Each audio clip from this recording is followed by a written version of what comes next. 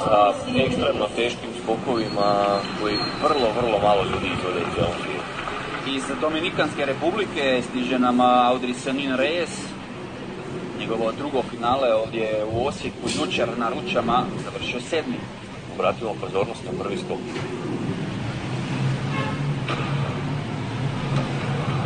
Sjajno.